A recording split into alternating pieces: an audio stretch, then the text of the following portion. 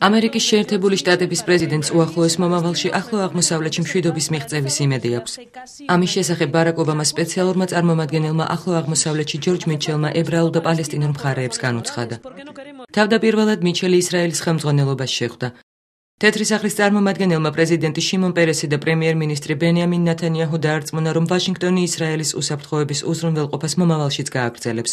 თუმცა მიჩელმა იქვე აღნიშნა, რომ თეთრი სახლი პალესტინური სახელმწიფოს შექმნას მოითხოვს. პალესტინური სახელმწიფო შექმნა აუცილებელია ზნეობრივი მოსაზრებით, რადგან ჩვენ არ გვსურს მართოთ სხვა ერი.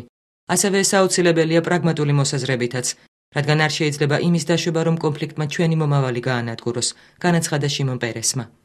ისრაელის ფევრობასთან შეხვედრის შემდეგ ჯორჯ მიჩელი რამალახში გაემგზავრა, სადაც იგი პალესტინური ნაციონალური ადმინისტრაციის ხელმძღვანელმა მაჰმუდ აბასმა მიიღო.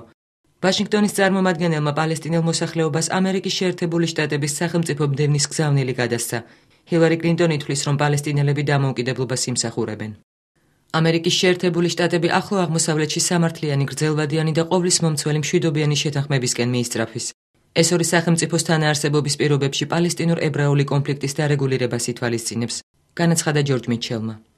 შეერთებული შტატების სპეციალური წარმომადგენელი რეგიონში 25 აპრილამდე დარჩება. მისი ვიზიტის მიზანი ამერიკული შუამავლობით მხარეების არაპირდაპირი მოლაპარაკებების განახლებაა.